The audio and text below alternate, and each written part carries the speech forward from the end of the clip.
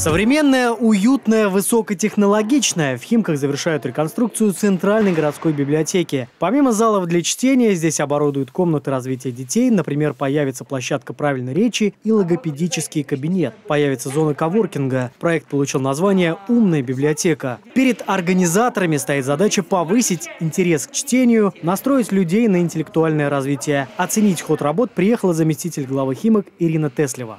Мы к концу года такой новогодний подарок.